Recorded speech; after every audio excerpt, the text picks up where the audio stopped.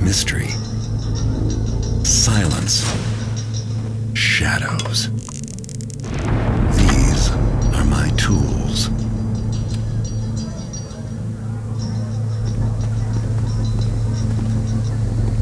My name is Garrett.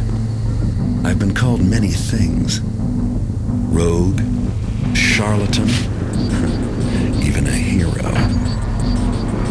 But most people